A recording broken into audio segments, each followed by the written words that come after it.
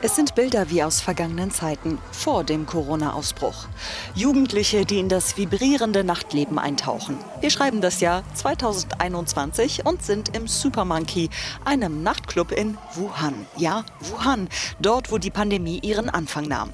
Diese gilt zwar als besiegt und die Menschen gehen feiern, aber nicht so wie früher. Obwohl unser Land verglichen mit Lockdowns in anderen Ländern nicht komplett abgeriegelt ist, fühlen sich die Menschen trotzdem nicht ganz wohl.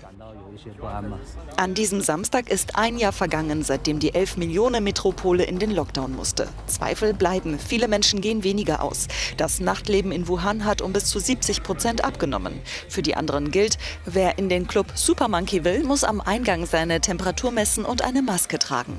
Diese verschwindet aber spätestens auf der Tanzfläche in der Hosentasche. Für die Menschen in China ein Beweis, dass ihre Regierung die Pandemie in den Griff bekommen hat, im Gegensatz zum Westen.